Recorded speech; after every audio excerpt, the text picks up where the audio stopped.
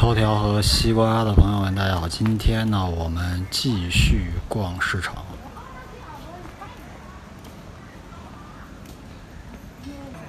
今天的市场的人真是不少啊！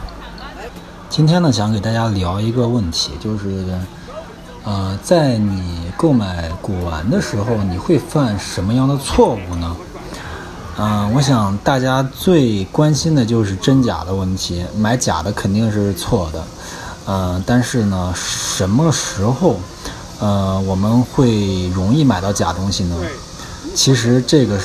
其实这个问题啊，其实很好回答，就是有的时候我们不能特别的贪心，就有的觉得感觉好像来这种市场上必须得来捡漏，捡不到漏的话，嗯，就感觉好像有吃亏的那种感觉。其实。真正的这个古玩的这个收藏啊，还有古玩交易啊，其实没有那么多漏可去捡的。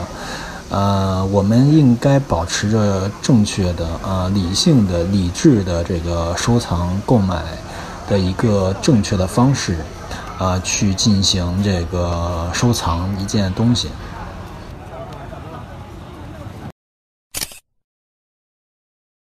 今天呢，给大家分享一片这个水滴。呃，这是一个建筑构件儿，这是我们如果是懂得这个收藏的朋友呢，应该一眼就能看出来，这是一个水滴。水滴是什么呢？就是在过去这个房屋上边哈，它有两种东西，一种叫水滴，这种这种就是水滴，还有一种呢是瓦当，瓦当是圆的，呃，它是瓦当是在水滴，就是一个瓦当一片水滴，一片瓦当一片水滴，都这样是。啊，排列有序的啊，然后在这个屋檐这儿，啊，它这个水滴的作用呢，它就是啊，从房顶上啊，就是流水的时候，这是个槽，然后从这个地方看好可以流下来，就是作为一个排水的一个功能。呃，这件水滴呢，大家可以从这个视频当中可以看到，上面呢，它这个背后呢是一个断层哈，是个自然的一个断层断层，呃，这个很漂亮。呃，我个人认为这种凤的凤鸟的带有凤鸟这种的规格，应该在过去来说也也不是说是一般家庭能用的，因为像这种琉璃瓦当啊，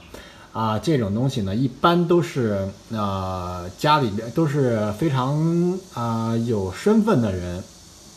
才能用的，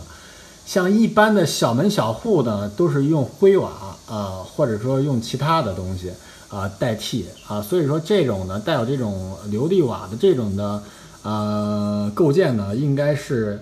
非常厉害的。好了，本期的视频呢，就为大家分享到这里。喜欢我更多视频的，可以在下方点击关注。谢谢大家的观看。